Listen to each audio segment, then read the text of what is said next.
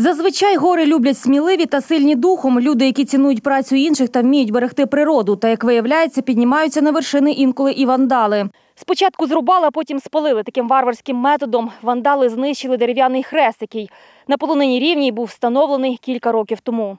Цей хрест встановили тут у серпні 2013-го, а згодом освятили під час сходження учасників міжнародного фізкультурно-мистецького фестивалю Зірки досяжні. Цей захід був міжнародним і на вершину, крім священиків та громадських активістів, піднялися й понад сотня учасників з інвалідністю. Тож цей хрест став для них своєрідним символом віри та надії. У кого змогла піднятись рука, щоб його знищити, наразі невідомо. Дві неділі тому назад були тут.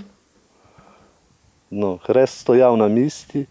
Люди, туристи були тут, ходили коло Христа. Но на даний момент, як бачите, що хрест зрубаний, спалений варварським методом. На місці події вже побували і правоохоронці. Зараз вони вивчають усі матеріали справи. Ну, в нас на даний момент ще кримінальне провадження не розпочато, тому що вивчається правова кваліфікація.